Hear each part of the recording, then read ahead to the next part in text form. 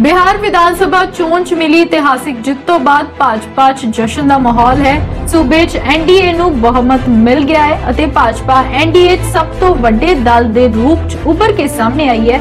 ਇਹ ਜਿੱਤ ਅੱਜ ਪਠਾਨਕੋਟ ਚ ਅਸ਼ਵਨੀ ਸ਼ਰਮਾ ਦੀ ਅਗਵਾਈ ਦੇ ਵਿੱਚ ਬੀਜੇਪੀ ਆਗੂਆਂ ਵੱਲੋਂ ਭੰਗੜੇ ਪਾ ਕੇ ਖੁਸ਼ੀ ਦਾ ਪ੍ਰਗਟਾਵਾ ਕੀਤਾ ਗਿਆ।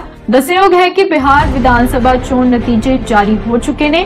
ਸੂਬੇ 'ਚ ਐਨਡੀਏ ਨੇ ਜ਼ਬਰਦਸਤ ਵਾਪਸੀ ਕੀਤੀ ਹੈ। ਪ੍ਰਦੇਸ਼ ਦੀਆਂ 243 ਸੀਟਾਂ 'ਚੋਂ ਐਨਡੀਏ ਨੂੰ 125 ਤਾਂ ਮਹਾਗਠਜੋੜ ਨੂੰ 110 ਸੀਟਾਂ ਪ੍ਰਾਪਤ ਹੋਈਆਂ।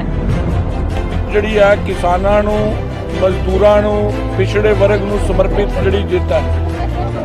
ਔਰ ਦੇਸ਼ ਦੇ ਪ੍ਰਧਾਨ ਮੰਤਰੀ ਜੀ, ਜਦੋਂ ਦੇ ਦੇਸ਼ ਦੇ ਪ੍ਰਧਾਨ ਮੰਤਰੀ ਬਣੇ ਨੇ, ਜਿਸ ਪ੍ਰਕਾਰ ਉਹਨਾਂ ਨੇ ਕਿਸਾਨਾਂ ਦੇ ਲਈ, ਦਲਿਤਾਂ ਦੇ ਲਈ, ਮਜ਼ਦੂਰਾਂ ਦੇ ਲਈ, ਕਮਜ਼ੋਰ ਵਰਗ ਦੇ ਲਈ, ਕਿਸਾਨ ਦੇ ਲਈ ਕੰਮ ਕੀਤੇ ਨੇ, ਇਹ ਉਹਦਾ ਹੀ ਪ੍ਰਣਾਮ ਹੈ ਕਿ ਬਿਹਾਰ ਨੇ ਸਾਰੇ ਜਾਤ- ਜਾਤੀਗਤ ਸਮੀਕਰਨਾਂ ਤੋਂ ਉੱਪਰ ਉੱਠ ਉੱਠ ਕੇ ਵਿਕਾਸ ਦੇ ਲਈ, ਕਾਨੂੰਨ ਵਿਵਸਥਾ ਦੇ ਲਈ, ਅਮਨ ਲਈ, ਸ਼ਾਂਤੀ ਲਈ, ਭਾਈਚਾਰੇ ਲਈ ਜਿਹੜਾ ਵੋਟ ਕੀਤਾ ਹੈ ਔਰ ਇਹਦਾ ਪ੍ਰਣਾਮ ਪੂਰੇ ਹਿੰਦੁਸਤਾਨ ਦੇ ਅੰਦਰ ਪੈਣ ਵਾਲਾ ਹੈ। ਔਰ ਕੱਲ ਤੁਸੀਂ ਦੇਖਿਆ ਹੋਵੇਗਾ ਕਿ ਮੱਧ ਪ੍ਰਦੇਸ਼ ਦੇ ਅੰਦਰ, ਗੁਜਰਾਤ ਦੇ ਅੰਦਰ ਔਰ ਉੱਤਰ ਪ੍ਰਦੇਸ਼ ਦੇ ਅੰਦਰ, ਕਰਨਾਟਕਾ ਦੇ ਅੰਦਰ, ਚਾਹੇ ਉਹ ਦਕਸ਼ਿਣ ਹੈ, ਚਾਹੇ ਉੱਤਰ ਭਾਰਤ ਹੈ, ਚਾਹੇ ਨਾਰਥ ਉੱਤਰ ਭਾਰਤ ਹੈ, ਮੱਧਵਰਤੀ ਚੁਣਾਵਾਂ ਦੇ ਅੰਦਰ ਪੂਰਾ ਦੇਸ਼ ਇੱਕ ਵਾਰੀ ਫਿਰ ਦੇਸ਼ ਦੇ ਪ੍ਰਧਾਨ ਮੰਤਰੀ ਦੇ ਨਾਲ ਖੜਾ ਹੋਇਆ, ਉਹਨਾਂ ਦੀ ਸੋਚ ਦੇ ਨਾਲ ਖੜਾ ਹੋਇਆ ਔਰ ਅਨੇਕ ਪ੍ਰਕਾਰ ਦੀਆਂ ਗੱਲਾਂ ਬਿਹਾਰ ਦੇ ਚੁਣਾਵਾਂ ਨੂੰ ਲੈ ਕੇ ਕੀਤੀਆਂ ਜਾ ਰਹੀਆਂ ਸੀ।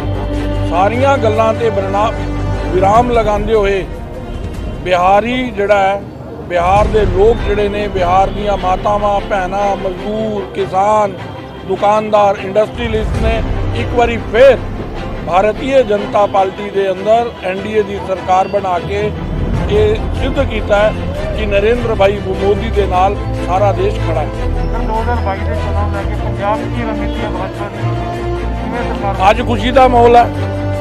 ਅੱਜ ਔਰ ਇਹਦਾ ਪ੍ਰਣਾਮ ਜਿਹੜਾ ਪ੍ਰਭਾਵ ਹੈ, ਪੰਜਾਬ ਦੇ ਅੰਦਰ ਵੀ ਦੇਖਣ ਨੂੰ ਮਿਲੇਗਾ। ਔਰ ਇੱਕ ਪਾਸੇ ਕਿਸਾਨ ਬਿੱਲਾਂ ਨੂੰ ਲੈ ਕੇ ਬਹੁਤ ਸਾਰੇ ਚਰਚਾਵਾਂ ਚੱਲ ਰਹੀਆਂ ਸੀ। ਬਿਹਾਰ ਹੋਏ, ਚਾਹੇ ਉੱਤਰ ਪ੍ਰਦੇਸ਼ ਚਾਹੇ ਮੱਧ ਪ੍ਰਦੇਸ਼ ਹੋਏ, ਇਹ ਪ੍ਰਣਾਮਾਂ ਨੇ ਦੱਸਿਆ ਹੈ ਕਿ ਇਹ ਜਿਹੜੇ ਬਿੱਲ ਸੀ, ਇਹ ਉਹਨਾਂ ਦੇ ਹਿੱਤ 'ਚ ਨੇ।